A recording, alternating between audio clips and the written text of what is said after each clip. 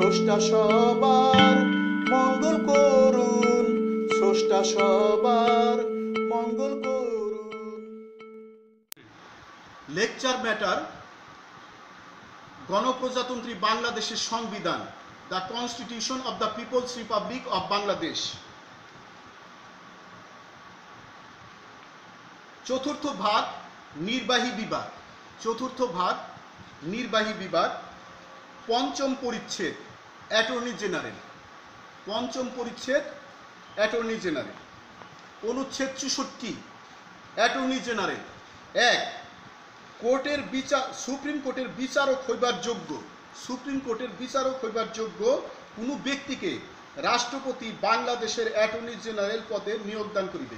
এখানেও কিন্তু রাষ্ট্রপতির ক্ষমতা বর্ণনা করা হয়েছে আর বলছে সুপ্রিম কোর্টের অ্যাটর্নি জেনারেল হইবার সুপ্রিম কোর্টের বিচারক হইবার যোগ্য। সুপ্রিম কোর্টের বিচারক হইবার যোগ্য এই রকম ব্যক্তিকে অ্যাটর্নি জেনারেল হিসেবে নিয়োগদান করবে।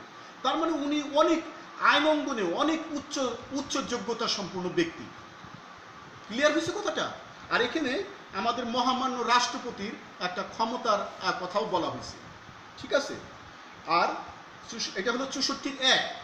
অ্যাটর্নি জেনারেল রাষ্ট্রপতি কর্তৃক প্রদত্ত সকল দায়িত্ব পালন করিবেন।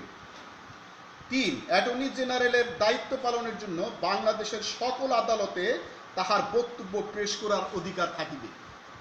অ্যাটর্নি জেনারেলের দায়িত্ব পালনের জন্য বাংলাদেশের সকল আদালতে তাহার বক্তব্য পেশ করিবার অধিকার থাকবে। উনি বাংলাদেশের সমস্ত অধস্থন আদালতে উনি শুনানি করতে পারবেন, বক্তব্য রাখতে পারবেন। চার, রাষ্ট্রপতির সন্তোষানুত ফল থাকিবে তো পারিশ্রমিক লাভ লাভ করিবেন। ক্ষমতা সময়সীমা পর্যন্ত অ্যাটর্নি জেনারেল সিও রাষ্ট্রপতি কর্তৃক নির্ধারিত পারছে। এখানে অ্যাটর্নি জেনারেল সম্পর্কে বিস্তারিত বলা হয়েছে এবং হয়েছে।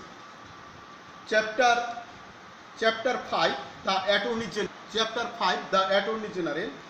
One, the president shall appoint a person qualified to be জাজ of supreme court Bangladesh.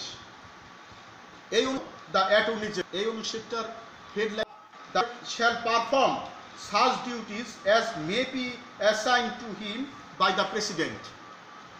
3. In the performance of his duties, the Attorney General of audience in all courts of 4.